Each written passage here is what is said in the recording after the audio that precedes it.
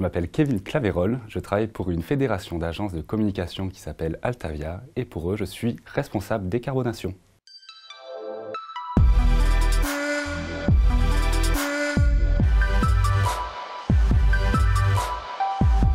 Mon métier responsable décarbonation euh, consiste à mesurer l'empreinte environnementale de l'entreprise. Donc c'est comme euh, un comptable qui va faire un bilan financier de l'entreprise, sauf que moi je fais un bilan de la performance durable de l'entreprise. Et donc on obtient un résultat en tonnes de carbone équivalent. Et le but donc est ensuite avec tous les collaborateurs de l'entreprise les mobiliser et réussir à réduire cette empreinte. Donc pour objectif aujourd'hui les entreprises doivent réduire d'au moins de moitié leurs émissions dans les années à venir pour pouvoir limiter le réchauffement climatique.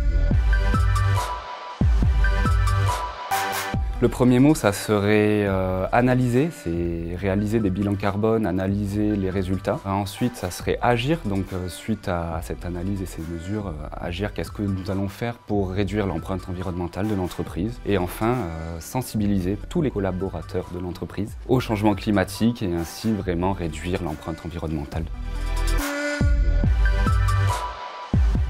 Pour mon poste, il y a une très grosse partie travail de bureau pour tout ce qui est analyse et réalisation des bilans carbone. il y a aussi une partie terrain qui est intéressante, surtout aujourd'hui avec l'aspect sensibilisation, où on doit se déplacer auprès de tous les collaborateurs pour les sensibiliser aux enjeux du changement climatique et aux enjeux sociaux pour lesquels on va bientôt être confronté.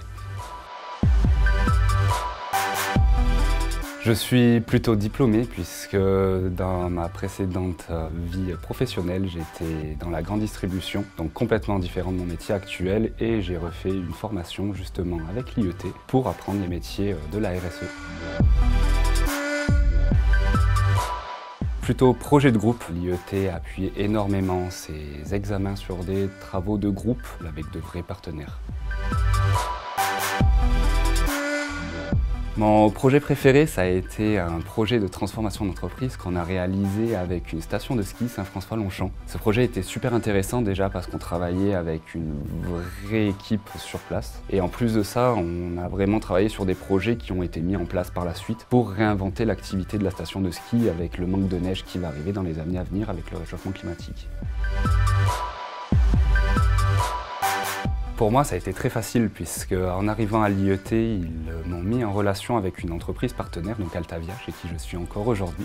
J'ai commencé en alternance, j'ai fait un cursus de deux ans alternant euh, pour eux en tant que chargé de mission RSE. L'alternance, moi, m'a aidé à avoir un poste puisqu'aujourd'hui j'ai continué et je suis au poste, je suis responsable décarbonation. Mais en plus, les obligations réglementaires poussent les entreprises aujourd'hui à agir pour l'environnement et la RSE en plus général, notamment sur du reporting, sur la mise en place d'actions. Et donc, euh, les entreprises recrutent de plus en plus dans ce secteur-là.